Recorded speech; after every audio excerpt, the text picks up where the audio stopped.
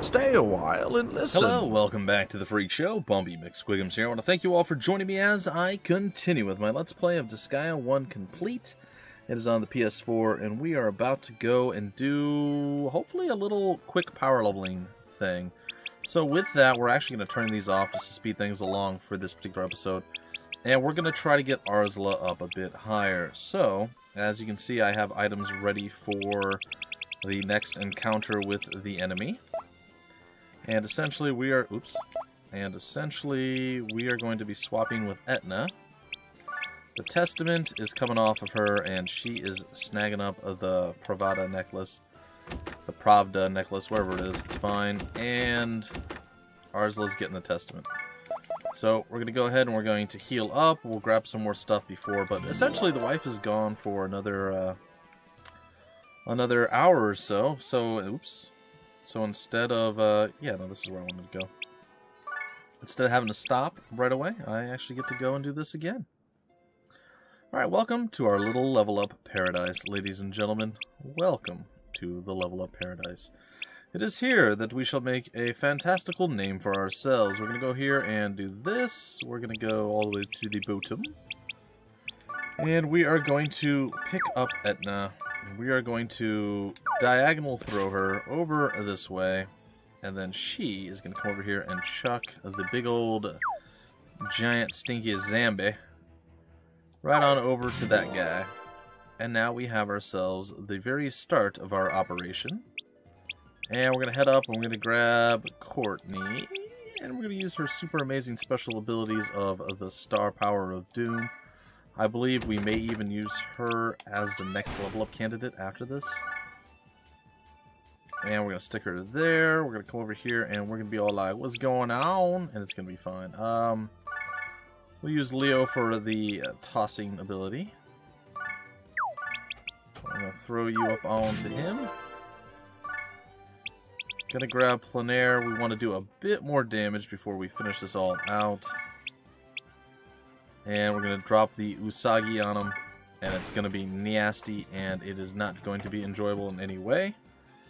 And that is okay. And then what are we going to do? What are we going to do indeed?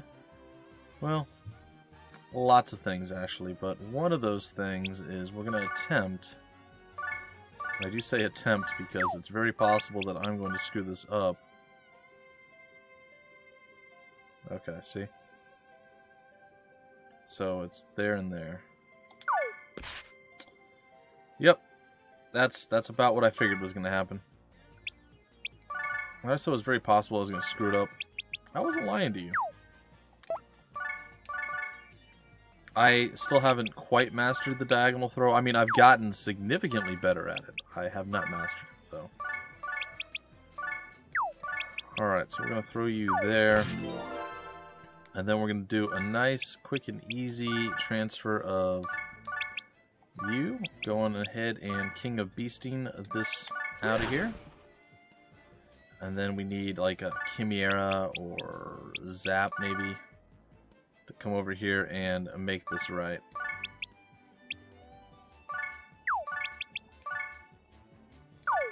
And there it is. So 650 is the mark.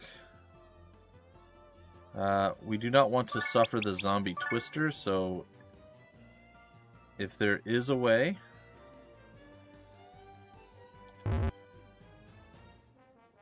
Uh, come on, brain. There we go. There it is. Okay. So we're probably okay for the zombie twister at this point. We'll see. Oh, he's going to hit Etna. Etna's going to hit back. That's all there was. That was a full exchange, and I am okay with that. We're going to avalanche here. Jump away, and that's a fairly sizable chunk of damage already, but we're not done yet. We're going to come up here, and we're going to use this. Okay, and I believe we'll be able to King of Beast you back over that way. Putting you pretty close to death. Not quite there yet, but we're getting there. We will go ahead, actually let's take a peek. What do you resist? Wind. Alright, we're going to go ahead and we're going to blow a whole bunch of wind on you. You are not going to enjoy yourself. You can be all like, I'm chilly. Be like, yeah, you are. Uh, can't do it yet. I'm gonna put you away though. You've served your purpose. We're gonna put you away. We're gonna again go with Omega Wind. We're gonna hope that it does about 1600 damage, if not more. 1100. A little underwhelming on that front, but that's okay.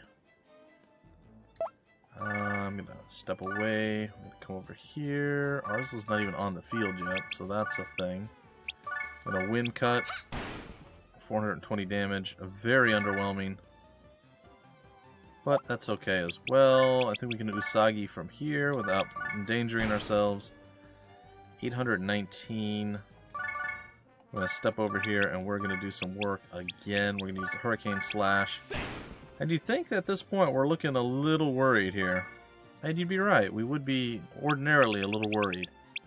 But we have ourselves a few little bonus things that we can do to make our lives a bit easier, safer.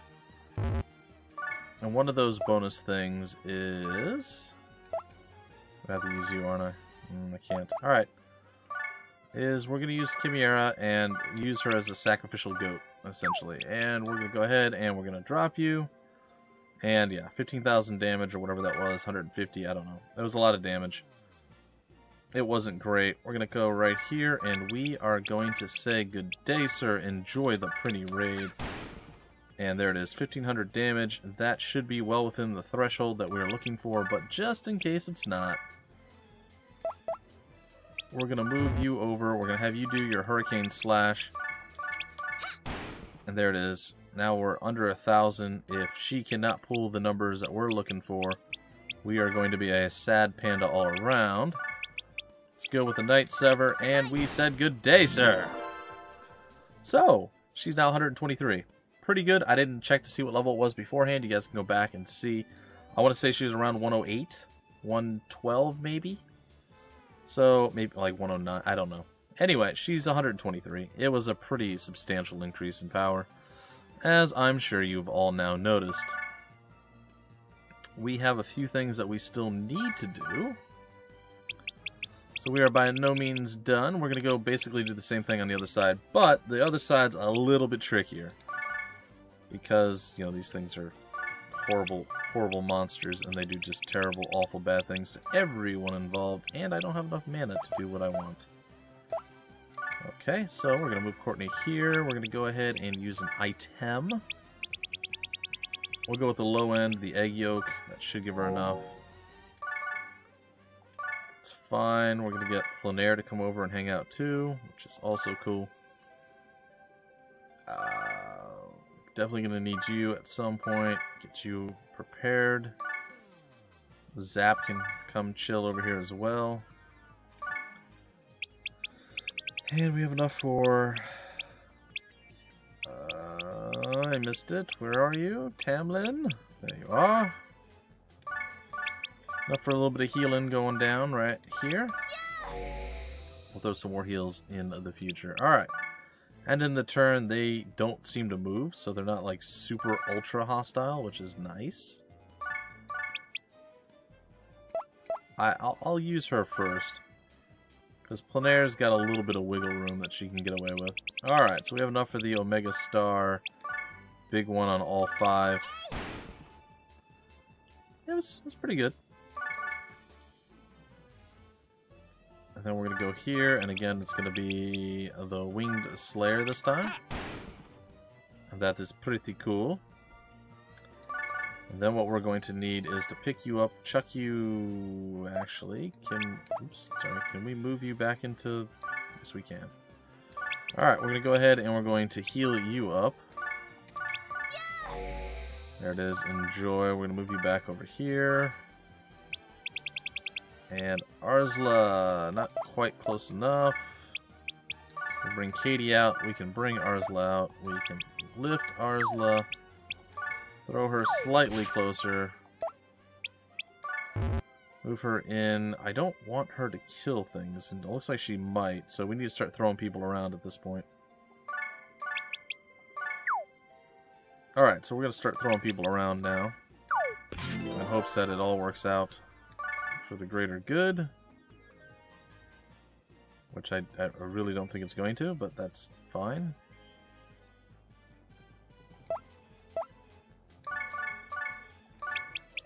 Alright, we're going to pick Etna up and throw her over.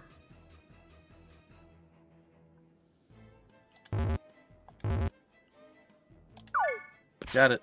There it is, see? My diagonal throwing, I told you. It's improving. It's not great. But it's getting there. I've gotten a lot better at it. Alright, the dream, the goal here is to not die. So what we're going to do is we're going to try to pick you up and toss you... I mean, maybe over there somewhere. I will see how that goes.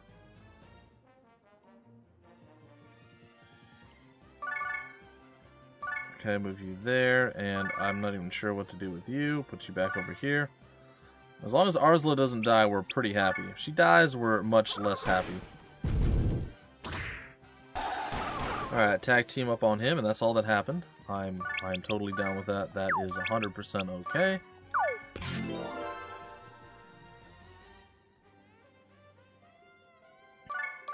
Um... Let's move this guy over here. Do we... Is that 650, right? Okay, like... I feel like we're missing something. I feel like something didn't go the way it was supposed to. I feel like something went wrong. But no, we're okay. Okay, I am not sure if we're on point for this, but we're going to try it anyway. Oh yeah, looks like we're good. And her range is really improving. Oh, Courtney. Oh, we should have gone with fire on that one. Special rapid fire. Let's do it. Okay, and I, I think that's enough. I think we've got this. So she's level 123 right now. We're going to go ahead and we're going to use the Night Sever once more, and it should be enough. It is enough. She was 123. She is now 133, so she's gained another 10 levels there. And let's see, where does that put her HP-wise? Arsla's now at 3,800, which is pretty good. So that was one that we definitely wanted to increase the strength of. The other one is going to be Pleinair. So we're going to swap it out for Pleinair. And yeah.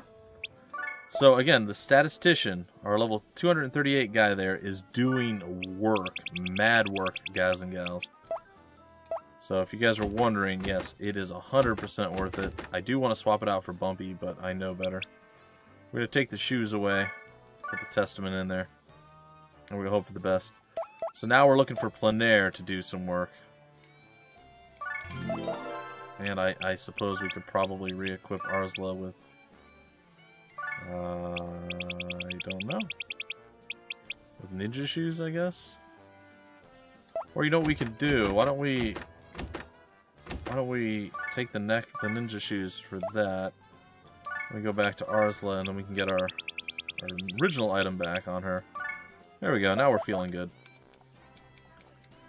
Alright. We're feeling good. We're enjoying ourselves. We're feeling pretty solid. We got a, a decent chunk of money.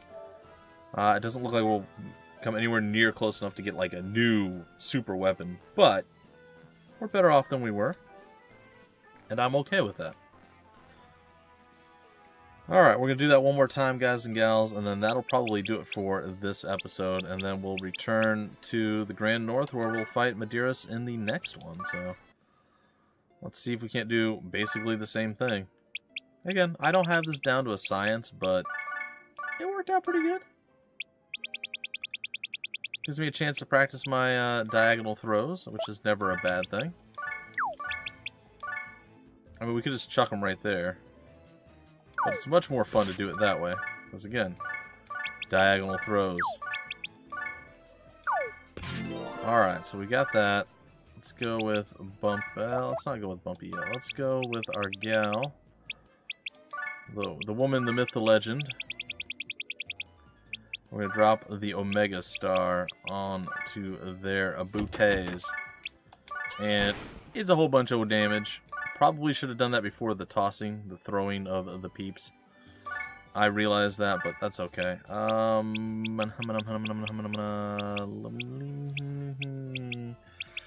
we'll say bumpy. Bumpy to throw. I mean, at this point, it's just there, right? Um, I suppose we could still use Pleinair to do some some work. I don't see that as being a problem. Usagi drop. Oh, well, maybe maybe I'm wrong. She she did a she did a lot of damage there.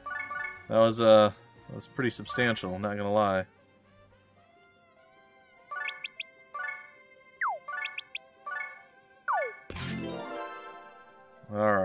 So now we're gonna try Zap.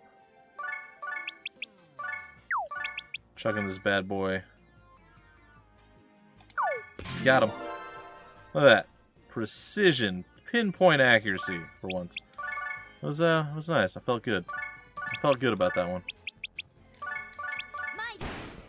Now, if we were super tanky and really, really, really confident, and I wanted to take the time to do it, we could technically combine these guys into a, would that be 1300? Combining this half and that half, and then killing it, and it would be a just ginormous, massive amount of experience. But I'm not that confident. This is a little bit easier, a little bit safer, and something I'm more willing to deal with. So, yeah, we're to roll with it. Um, who are we to sacrifice? We'll sacrifice Leo. No, we'll sacrifice Chimera. Leo still has his uh, standings for right now. Yes, it is sad that my wife is a sacrificial goat. I, I know. And the turn, she took a tremendous amount of damage. We are going to do this. And then we are going to go over here. I'm going to move you over here to do the Bullet Storm. It wasn't quite enough. I'm going to put you back down over here with an Avalanche. Okay, we're doing a bit of work. Doing a bit. 3,000. What are we what are we rocking here? 1900. I hmm, I'm I'm scared to use Bumpy. I don't know what kind of damage numbers he can pull. I don't think he pulls 1900. I hope not. Okay, pulls 13. I said I don't I don't it doesn't feel like a 1900 damage guy. Like maybe, but I don't think so. And there it is. There's a sweet 119 coming to Pleinair. And yeah, we're feeling pretty good. So I we didn't have access to this most of the time I was doing my power leveling, so I was pretty stoked to see this actually this level show up because it it has some serious ramifications as you can tell. We can do quite a bit of work with this. Alright, so we're gonna go after this blob of oh, he decided to come after me. Well. Unexpected. Can I throw him far enough? I hope so. Please? Oh, I can't. That's the worst. Hey, remember you? Why don't you come back over here? Why don't we swap? We're not going to swap. We're just going to move Slate over here to throw. Whee! Throw you over there. Pleinair has the damage to make everybody scream and cry. Oh boy, that is so much damage.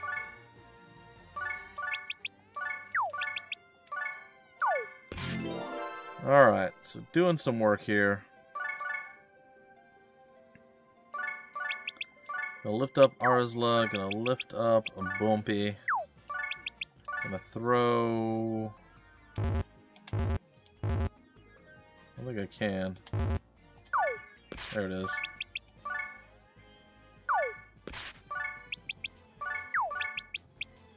Alright, gonna throw you there. Gonna move over here. Um...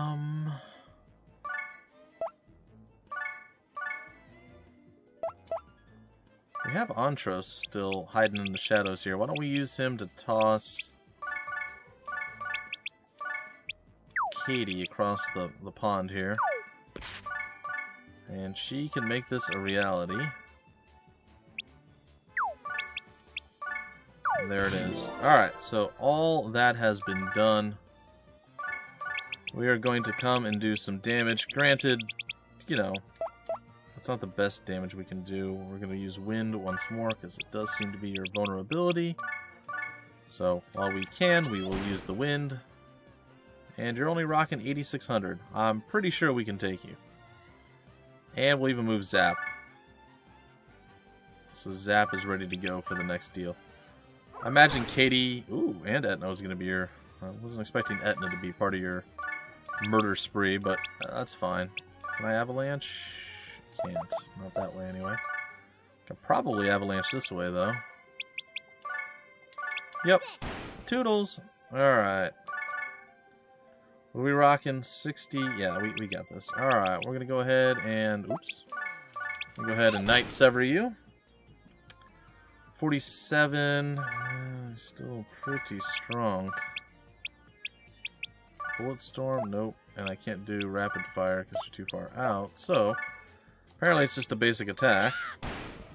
Not, not really a very tremendous basic attack either, mind you. Alright, let's lift you up. Let's throw you on over. Hmm. Not really a lot we can do. Push you over further and further away. Do the Usagi drop. Pretty sure it's going to be fine. It's not going to kill him. No, I mean, like, by no means. But we're definitely not losing this map, and I don't think we have to worry too much about, like, her dying either, so, like, Pleinair should be fine. She should be safe. I think she's safe. I hope she's safe.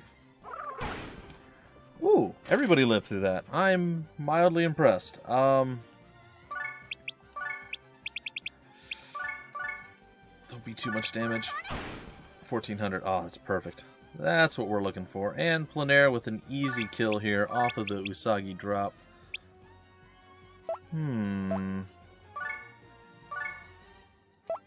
Maybe we don't want to do it off the Usagi drop. Maybe we don't want to do it off the Usagi drop. One, two, three, four.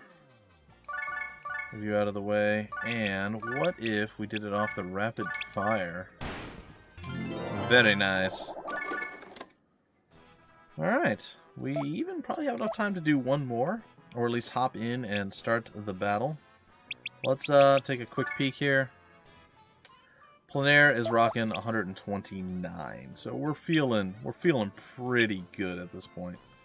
Like we're, we're maybe not the biggest deal, but we're a pretty big deal.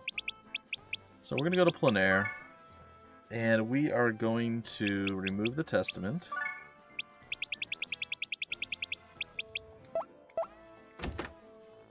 And then we're going to remove the ninja shoes. And I don't know, I feel like the ninja shoes are not the greatest thing for her.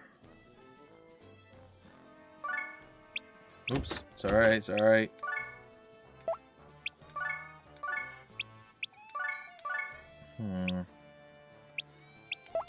See what else we've got here.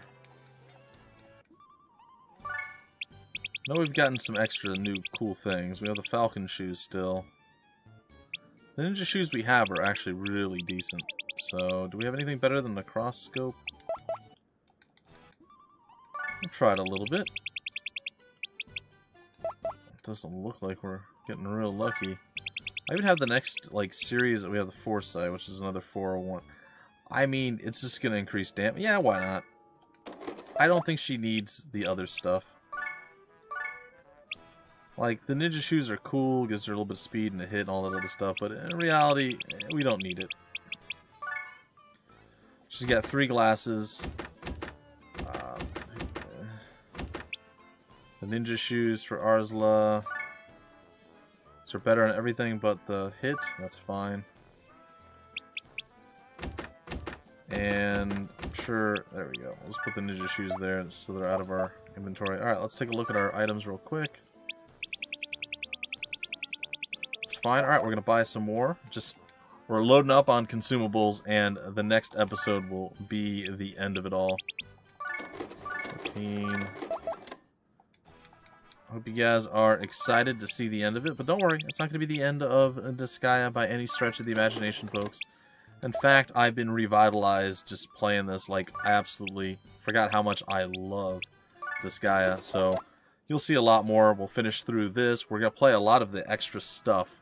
We're going to go back through Laharl mode and everything else. We're going to play Disgaea 5. We're going to go back to Axel mode for Disgaea 2. We're going to do some leveling up in between. There's going to be a ton of stuff.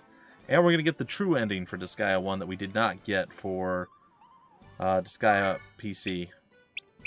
So, stuff to look forward to. I think we'll go one more little blob into here, and then that should be it. Claire chocolate. One more. I'm sorry, guys. Uh, flan and chocolate. Yam starch, not enough. Alright. We're going to go into our items. We're going to go ahead and we're going to organize them. And it's from lowest HP gain to highest, and then from lowest mana gain to highest. And there we are. We are set, everything is ready, and we are prepared for our final endeavor into the doom of gloom and shroomaitude. Uh, well, we would be if I heal everybody up. Do that. Testing all of you. Alright, let's go take a final look. So, 168 Etna going in. Pleinair at 129, Arsla at 133, Bumpy sadly trailing pretty far behind at 99, but again, we know, you know, 10 minutes and he could be 125 plus. Uh, we have Antros trailing at 84, and those are our, our top five people. So Antros, Arzla, Bumpy, Pleinair, and Etna. So they are all fairly strong. Again, everybody else is trailing a little bit. Stars at 73. Okay, Courtney at 77 is a bit better. And our healers are a bit underwhelming still. But it is what it is. Anyway, folks, the conclusion, I think, unless I'm totally wrong and I'm reading the entire situation incorrectly, the conclusion is next episode. If not, it'll be the episode after that, or we'll, we'll see. Either way, folks, until the very next episode, my name is Bumpy McSquigums. Thank you for stopping by the Phreak Show, and I will see you later.